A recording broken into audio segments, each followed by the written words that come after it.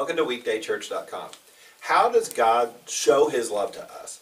What does he do? By the fact that we're sinners, does he just hand it out to us like candy and say, Well, I overlook all your sin, and I'll just show you that I love you by saying everything you do is cute? Well, today we're going to talk about God's grace and God's mercy and explain what those are. Tomorrow we'll talk about God's justice. And sometimes it seems like those two are set against each other. But over the next couple days, hopefully we will explain rather well how they aren't. That God keeps them working together in unison. And he shows us grace and mercy and his love, but also in his love he shows us justice too. Our opening song today is This is Amazing Grace. Let's open in prayer. Heavenly Father, you give us amazing grace. You love us, you care for us. We have never deserved it, but you give us your benefits. You give us your love. And God, we thank you so much that no matter how much we rebel against you and we just keep turning against you, God, you love us. We praise your name. Amen. I hope you enjoy the song, and I'll see you right after it's over.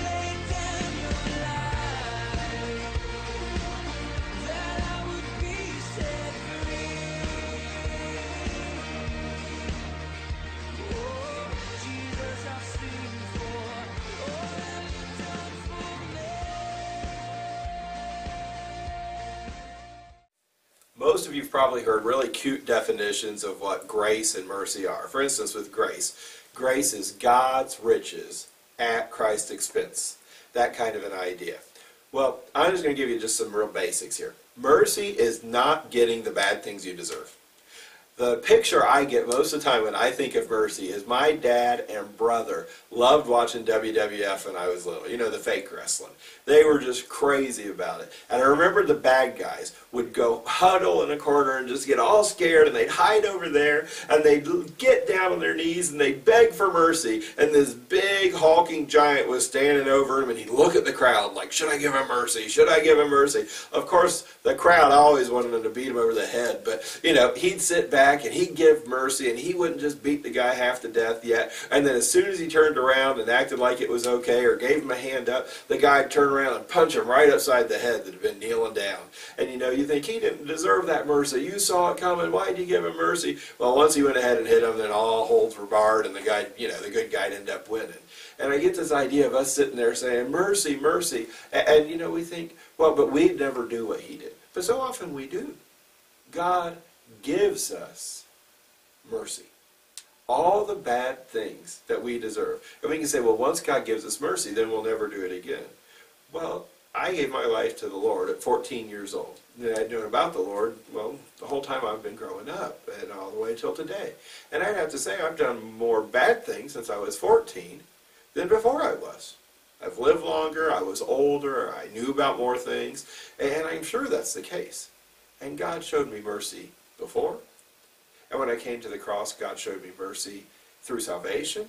And even since then, God keeps showing me mercy. And I don't get the things that I deserve, all the punishments that could be coming to me. And you say, well, what's grace? Grace is getting good things that you don't deserve. Mercy is not getting the bad things that you do deserve, and grace is getting the good things you don't deserve. Could you imagine if all of a sudden not only that wrestler huddling over there in the corner, if the guy that was the good guy and he was fighting him and he says, well, not only will I not hit you anymore, in fact, I'll throw the match and I'll go give you the belt and I'll, you know, say that you're the new champion. Well, you know, you think, wow, why would he do that? Well, that, that would be grace, giving him something that he doesn't deserve. You say, well, God wasn't that way with us. In Romans 5 and verse 8, though, it says that that's exactly the way it was. But God shows his love for us in that while we were still sinners, Christ died for us. Jesus died for us while we were still bad guys. We hadn't had to clean ourselves up get our lives right, and then come to Jesus.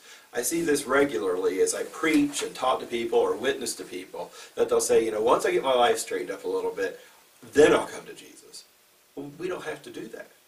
He wants us to come to Him while we're still a mess. That's how He takes us. When we're still all messed up and still living in sin and don't care very much about Him, the Holy Spirit starts convicting our hearts. And He's not saying, I want you to clean it up. Because if we could do that, we wouldn't need grace and mercy. If we could have been saved by our own works, if we could have been saved by keeping the law, Jesus wouldn't have needed to come to die for us. But we did need grace and mercy. And you say, well, what do we do then if we need grace and mercy? Well, it says in Matthew 5, verses 43 through 45, You have heard it said, You shall love your neighbor and hate your enemy. But I say to you, love your enemies and pray for those who persecute you so that you may be sons of your Father who is in heaven. For he makes his sun rise on the evil and the good, and sends rain on the just and the unjust. So you say, how do we show grace and mercy? Well, just being nice to your friends, or giving a present to someone who gives a present to you, or being kind to those who are kind to you, well, that's no different than anybody else. To be like God, what Jesus is telling us is we need to not only love those who love us, but love those who come against us. Love those who hate us. Give grace and mercy to those who don't deserve it. Why? Because God gave it to us when we didn't deserve it.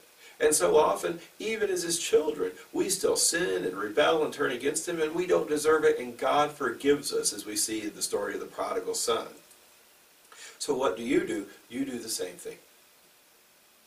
God said that if you want to be forgiven, you must forgive others give grace to the undeserving. And I know the questions that often come with this. they haven't deserved it. But we just talked about that. You didn't deserve it when God gave grace and mercy to you, and still He gave it. So He asked you to follow in His footsteps and give grace and mercy to those difficult, stubborn, hard hearted, mean people that you deal with in your family, at your work, and you say, well, okay. Not only that, you say, they'll hurt me again. They might. They really might hurt you again. They may come at you again. You can say, if I forgive them, all they'll do is do it again. And if I forgive them, that just gives them permission to do that. That doesn't give them permission to do that. They may choose to do that again. And Peter said, Well, how many times do I have to forgive somebody, Jesus? Just seven times? Then can I whack them over the head? And Jesus said, No, not seven times, but 70 times seven. You can say, Well, I don't want to.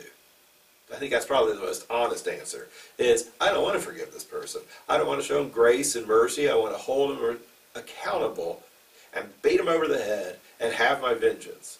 But God has said, Vengeance is mine. I will repay. Thus saith the Lord. You can say, well, they haven't even asked for forgiveness. And God doesn't give us forgiveness if we don't ask for forgiveness. So do I have to give them forgiveness even if they don't ask? My advice to you would be this. Give them forgiveness anyways. They may never know it. I'm not saying you go knock on their door and act obnoxious and say, well, I forgive you, because that's just a way of rubbing their nose in what they've done to you. All I'm saying is in your heart, forgive them. It will free not only them, but it will free you so that you're not bound by the anger and hate that you have against this person, and it sets you free from what they've done to you. Let's close in prayer. Heavenly Father, I pray that we will be people who exhibit grace and mercy, that we will give it to those who don't deserve it, who may not even ask for it from us, and so look like your Son. In Jesus' name I pray. Amen. Our closing song is Every Move I Make. I hope you have a wonderful day. I'll see you again tomorrow.